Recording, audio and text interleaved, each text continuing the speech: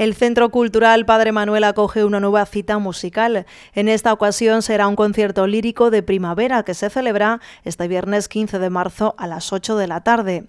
El concierto cuenta con la voz de la soprano Antonia Urbano Guillén, componente de la coral Magnum Mysterium de Estepona, que estará acompañada al piano por Claudio Gómez, profesor de grado superior de piano y profesor de música ya jubilado del Instituto Monterroso.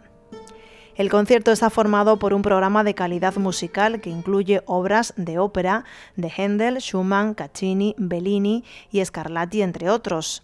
La entrada será con el sistema paga después del espectáculo, una modalidad en la que el público tendrá acceso libre al concierto y será a la salida cuando decidan, si así lo desean, cuánto quieren pagar.